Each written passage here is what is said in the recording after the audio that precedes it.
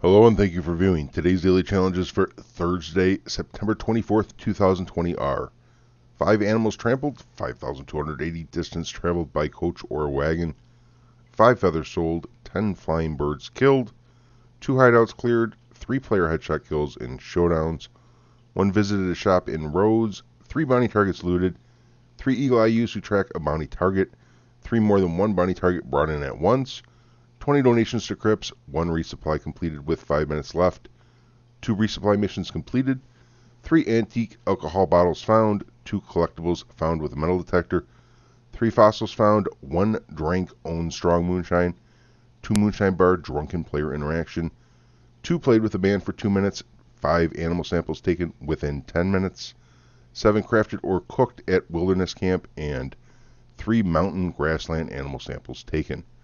Today you will find Madame Nazar over in Bluewater Marsh. That's in the state of Lemoyne between Saint and Van Horn. The only locations we have today are gang hideouts. This map here shows them. It also shows what time they spawn, night, day, sunrise, sunset, etc. I'll put a link down in the description where you can download this map from Reddit.